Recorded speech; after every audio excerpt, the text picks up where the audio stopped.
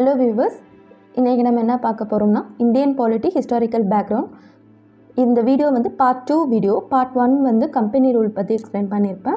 அதை வந்து லிங்க் வந்து டிஸ்கிரிப்ஷனில் கொடுத்துருக்குறேன். பார்க்காதவங்க பார்த்துக்குங்க. ஆல்சோ நம்ம வந்து Facebook group Telegram group Instagram page மூணுத்துலையுமே free டெ free test series plus materials provide பண்ணுறோம் வேணுன்றவங்க ஜாயின் பண்ணிக்கோங்க. ஓகேங்களா இப்போ வந்து ஃபஸ்ட்டு நம்ம என்ன பார்க்க போகிறோம்னா க்ரௌண்ட் ரூல் க்ரௌண்ட் ரூல் வந்து எப்போ நடக்குதுன்னா எயிட்டீன் ஃபிஃப்டி எயிட்லேருந்து நைன்டீன் ஃபார்ட்டி செவன் வரைக்கும் க்ரௌண்ட் ரூல் தான் நடக்கும். இந்த க்ரௌண்ட் ரூலுக்கு கீழே ஆல்மோஸ்ட் ஒரு செவன் ஆக்ட்ஸ் வந்து ஒரு செவன் ஆக்ட்ஸ் பார்த்திங்கன்னா ஃப்ரேம் பண்ணியிருப்பாங்க அதில் வந்து ஒரு த்ரீ ஆர் ஃபோர் ஆக்ட்ஸ் வந்து இந்த வீடியோவில் பார்ப்போம். ரிமைனிங் ரிமைனிங் ஆக்ட்ஸ் வந்து நெக்ஸ்ட் வீடியோவில் பார்ப்போம். அதில் வரப்போகிற ஃபஸ்ட் ஆக்ட் எதுனா government of India government of India act of eighteen fifty eight தான் ஃபர்ஸ்ட் ஆக்ட் இது வந்து government of India act of eighteen fifty eight வந்து எப்படி ஃப்ரேம் பண்ணாங்க? இதோட ஃபீச்சர்ஸ் என்னென்னா? ஃபஸ்ட்டு வந்து கிரேட் ரிவோல்ட் நடத்துறது அதாவது great revolt of eighteen fifty செவனுக்கு இன்னொன்று ஒரு நேம் என்னென்னா first war first world war இல்லைன்னா சிப்பாய் மியூட்டனி தான் இதுக்கு இன்னொன்று ஒரு நேம் இந்த வார் நடந்ததுக்கப்புறம் பிரிட்டிஷ் பிரிட்டிஷ் கவர்மெண்ட் வந்து என்ன சொல்கிறாங்கன்னா நாங்கள் வந்து இந்தியாவுக்கு ஒரு நல்ல அரசாங்கம் அமைச்சு கொடுத்துட்டு நாங்கள் வந்து நாட்டை விட்டு போயிடுறோம் அப்படின்னு சொல்லுவாங்க ஸோ இந்த uh, ஸோ இந்த ஆக்டுக்கு இன்னொன்று ஒரு நேம் என்னென்னா act for the good government of India இதுதான் வந்து இந்த ஆக்டுக்கு இன்னொன்று நேம் இந்த ஆக்ட் வந்ததுக்கப்புறம் என்ன ஆகுதுன்னா பிரிட்டிஷ் ஈஸ்ட் இந்தியா கம்பெனி கம்ப்ளீட்டாக அபாலிஷ் ஆயிடுது அபாலிஷ் ஆயிடுச்சுன்னா என்ன ஆகும்? அவங்க வந்து கம்பெனி ரூலுன்றதை மாற்றி க்ரௌன் ரூல்னு ரூல் பண்ண ஆரம்பிச்சிடுறாங்க. இதோட ஃபீச்சர்ஸ் என்னென்னா இதில் சும்மா ஜஸ்ட் ரீநேம் பண்ணுறது அபாலிஷ் பண்ணுறது க்ரியேட் பண்ணுறது இது மூணு தான் வந்து மெயினாக இருக்கும். இதோட ஃபீச்சர்ஸ் என்னென்னா ஃபஸ்ட்டு கவர்மெண்ட்ன்றதை மெஜஸ்டின் ரீநேம் பண்ணிடுறாங்க. கவர்னர் ஜென்ரல் ஆஃப் இந்தியான்றதை வைஸ்ராய் ஆஃப் இந்தியான்னு ரீநேம் பண்ணிடுறாங்க.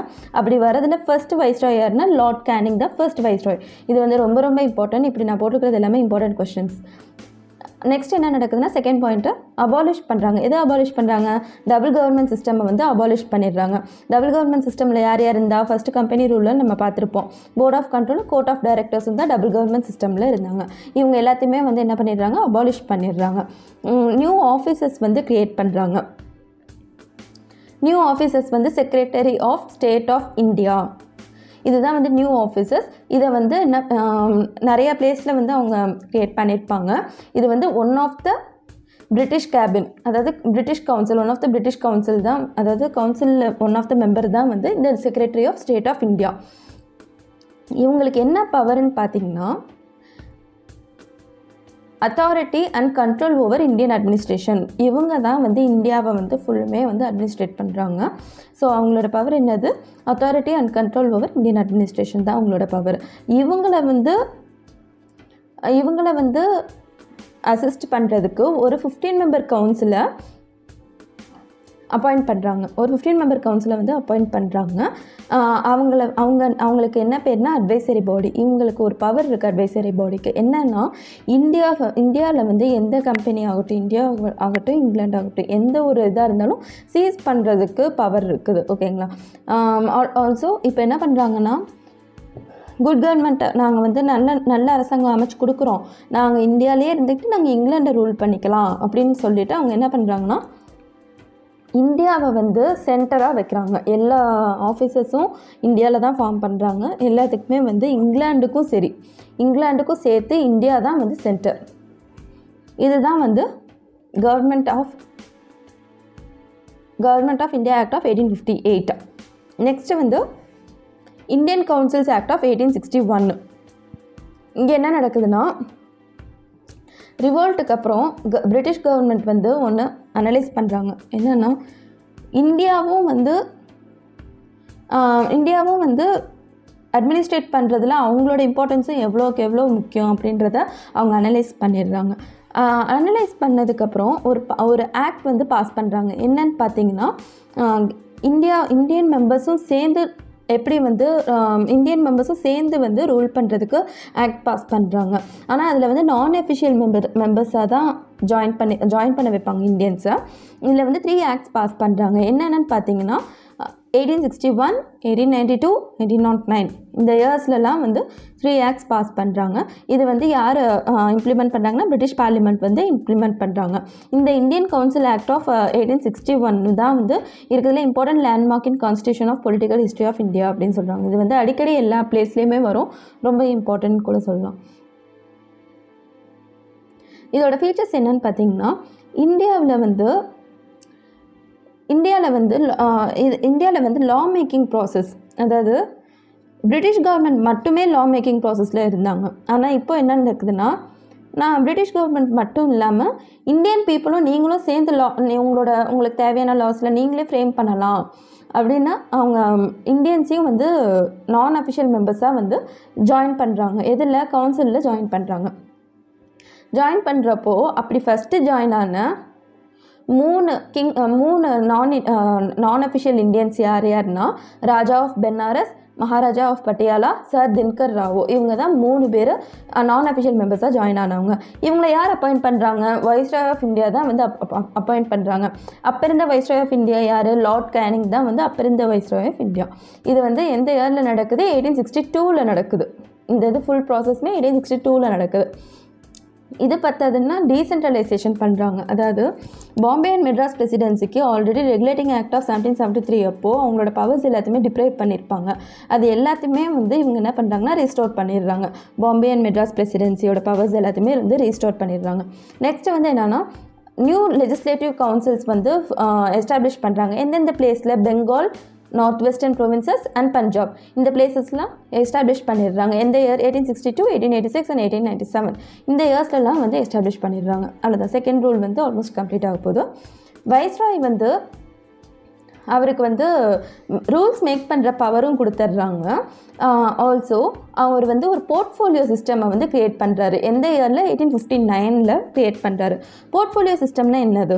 போர்ட்ஃபோலியோ சிஸ்டம்னா இப்போது ஒரு ஒரு டிவிஷனுக்கும் ஒரு பர்டிகுலர் மெம்பர்ஸை வந்து அப்பாயிண்ட் பண்ணி ரூல் பண்ணுறதுக்கு டிவிஷன்னா ஒரு ஒரு இப்போ வந்து ரெவென்யூனா ரெவென்யூக்கு வந்து ஒரு பத்து மெம்பர்ஸ் அப்பாயிண்ட் பண்ணி ரெவென்யூ ரெவென்யூக்கு வந்து அவங்க பொறுப்பு அப்படின்னு சொல்லிடுற மாதிரி போர்ட் அது அதுதான் வந்து போர்ட்ஃபோலியோ சிஸ்டம் இதை ஃபஸ்ட்டு இன்ட்ரடியூஸ் பண்ணுறாரு யார்? வைஸ்ராய் எந்த இயரில் எயிட்டீன் ஃபிஃப்டி நைனில் வந்து இன்ட்ரடியூஸ் பண்ணுறாரு வைஸ்ராய் வந்து இவருக்கு இன்னொன்று ஒரு ஸ்பெஷல் பவர் கொடுக்குறாங்க. என்னென்னா வைஸ்ராய் வந்து ஆர்டினன்ஸ் பாஸ் பண்ணலாம் அதாவது ஆர்டினன்ஸ்னால் லா ஆர்டினன்ஸ்னால் லா இவர் வந்து ஏதாச்சும் ஒரு எமர்ஜென்சி டைமில் ஒரு லா ஒரு லா வந்து இவர் வந்து க்ரியேட் பண்ணிக்கலாம்.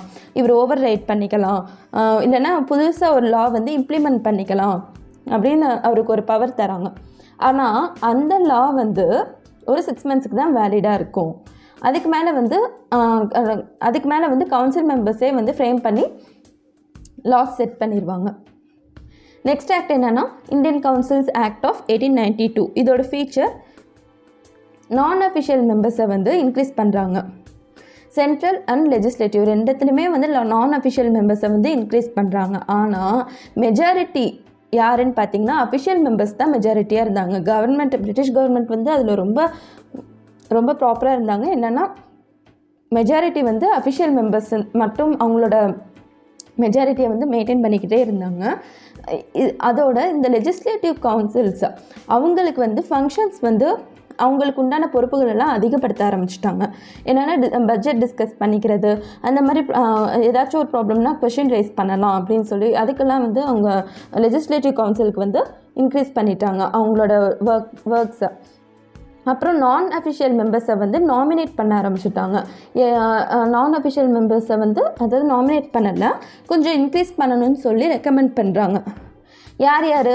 ப்ரொவின்ஷியல் லெஜிஸ்லேட்டிவ் கவுன்சிலும் பெங்கால் சேம்பர் ஆஃப் காமர்ஸும் என்ன பண்ணுறாங்கன்னா வைஸ்ராய்க்கு ஒரு ரெக்கமெண்டேஷன் கொடுக்குறாங்க. என்னென்னா எங்களுக்கு சென்ட்ரலில் வந்து கொஞ்சம் நான் அஃபிஷியல் மெம்பர்ஸை இன்க்ரீஸ் பண்ணுங்க அப்படின்னு சொல்லி ஒரு ரெக்வசேஷன் கொடுக்குறாங்க. ரெக்வசேஷன் கொடுக்குறாங்க. அதுக்கப்புறம் என்ன நடக்குது? இன்டைரக்ட் எலெக்ஷன் நாமினேஷன் இன்டைரக்டாக வந்து நம்ம எலெக்ஷன் எலெக்ஷனுக்கு எலெக்ஷன் ப்ராசஸ் வந்து இன்டைரக்ட் மெத்தடில் தான் வந்து எடுப்பாங்க. நெக்ஸ்ட் ஆக்ட் வந்து Indian councils act of nineteen nineteen nought nine இதுக்கு இன்னொன்று ஒரு நேம் என்னென்னா மார்லி மின்டோ ரிஃபார்ம் அப்படின்னு சொல்லுவாங்க. ஏன் மார்லி மின்டோ ரிஃபார்ம் அப்படின்னா என்னது? மார்லி மின்டோ ரிஃபார்ம்னா லார்ட் மார்லி அப்படின்றவர் தான் வந்து அப்போ செக்ரட்டரி ஆஃப் இந்தியாவுக்கு ஹெட்டாக இருந்தார். மின்டோன்றது வந்து லார்ட் மின்டோ வந்து வைஸ்ராய் ஆஃப் இந்தியாவாக வைஸ்ராய் ஆஃப் இந்தியா தான் வந்து லார்ட் மின்டோ இவங்க ரெண்டு பேர்த்தோட நேமையும் கம்பைன் பண்ணி தான் மா- மார்லி மின்டோ ரெஃபார்ம்னு சொல்லி வச்சுருக்காங்க. அது எ- எதுக்கு Indian councils act of nineteen nought நைனுக்கு அனதர் நேம் வந்து மார்லி மின்டோ ரிஃபார்ம் இதோட ஃபீச்சர் என்னென்னா லெஜிஸ்லேட்டிவ் கவுன்சிலுக்கு லெஜிஸ்லேட்டிவ் லெஜிஸ்லேட்டிவ் கவுன்சிலோட ஸ்ட்ரென்த்தை இன்க்ரீஸ் பண்ணுறாங்க சென்ட்ரல் அண்டு ப்ரொவின்ஷியல் ரெண்டுத்துக்குமே சேர்த்தே கூட இன்க்ரீஸ் பண்ண ஸ்டார்ட் பண்ணுறாங்க மெம்பர்ஸ்லாம் இன்க்ரீஸ் ஆகுறாங்க. சிக்ஸ்டீனில் இருந்த மெம்பர்ஸ் வந்து இப்போ சிக்ஸ்டியாக மாறிட்டாங்க. Central legislative council central legislative கவுன்சிலுக்கு வந்து அஃபிஷியல் மெஜாரிட்டி வந்து சென்ட்ரல் லெஜிஸ்லேட்டிவ் கவுன்சிலுக்கும் ப்ரொவின்ஷியல் லெஜிஸ்லேட்டிவ் கவுன்சிலுக்கு நான் அஃபிஷியல் மெஜாரிட்டியும் வந்துடுது அடுத்தது இதோட ஃபங்க்ஷன்ஸ் என்னென்னா லெஜிஸ்லேட்டிவ் கவுன்சில்ஸ் வந்து அதாவது லெஜிஸ்லேட்டிவ் கவுன்சில்ஸோட ஃபங்க்ஷன்ஸு அவங்களோட பொறுப் பொறுப்பை வந்து அதிக இன்னும் அதிகப்படுத்துகிறாங்க ஆல்ரெடி ஆல்ரெடி பட்ஜெட் டிஸ்கஷன் கொடுத்துருக்காங்க. இன்னும் வந்து அதிகமாக்கி ஏதாச்சும் பட்ஜெட் டைமில் வந்து ஏதாச்சும் ரெசல்யூஷன்ஸ் இருக்குது அப்படின்னா அவங்க பாஸ் பண்ணிக்கலாம். பில் பாஸ் பண்ணி க்ளைம் பண்ணிக்கலாம். அடுத்தது என்னென்னா இந்தியன்ஸை வந்து